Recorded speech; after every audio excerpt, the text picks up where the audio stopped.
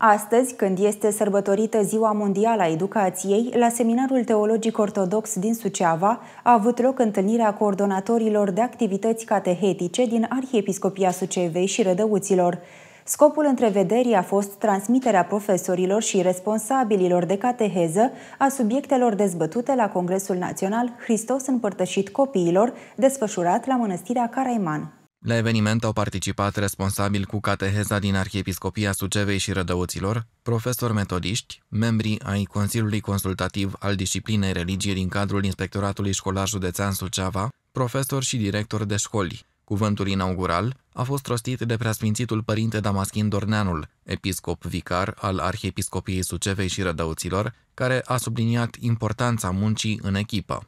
Gândul meu pentru dumneavoastră acum este acesta. Mult ne bucur atunci când vedem că lucrăm împreună, că nu suntem împărțiți,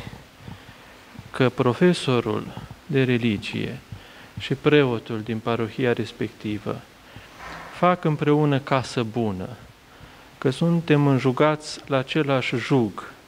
facem parte din aceea slujire a bisericii. Nici preotul fără profesor de religie nu poate și nici profesorul de religie fără preot nu poate. A urmat sesiunea informativă Parteneriatul Biserică Școală Familie și sustenabilitatea programelor catehetice.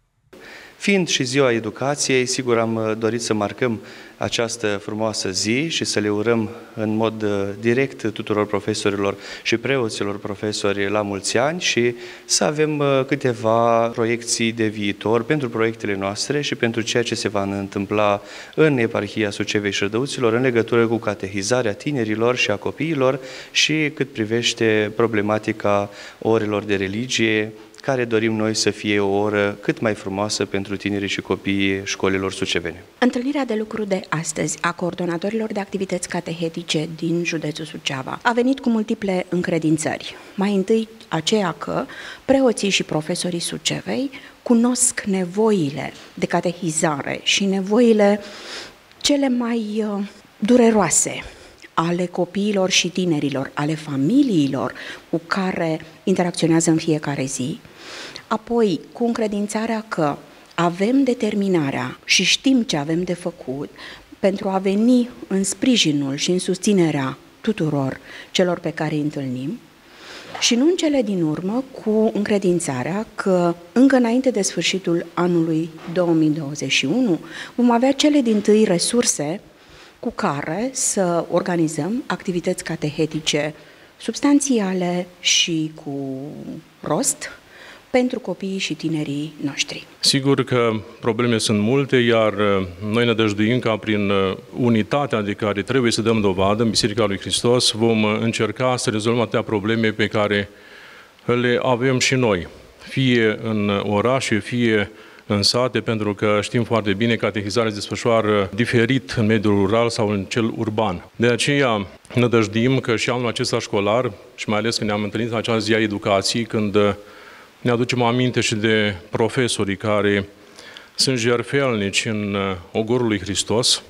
aceia care permanent luptă pentru a-L împărtăși pe Hristos copiilor, tinerilor. Iată și noi, uh, preoții, suntem aceia care trebuie să fim împreună cu profesorul, împreună cu educatorul, împreună cu învățătorul,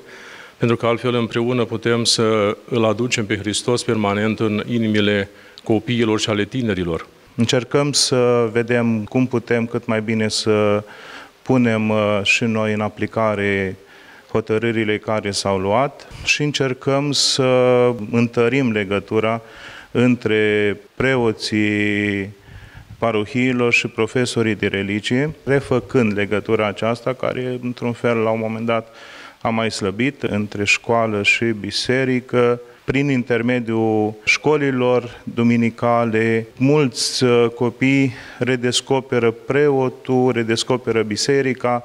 împreună cu profesorii de religie. Din experiența personală au fost lucruri extraordinare care s-au întâmplat în uh, anul care s-a încheiat uh, din punct de vedere bisericesc. În cadrul întâlnirii de lucru s-a mai discutat despre stabilirea planului comun de acțiune, preoți, cateheți, profesori de religie, pentru desfășurarea unor activități educaționale de suport în perioada pandemică.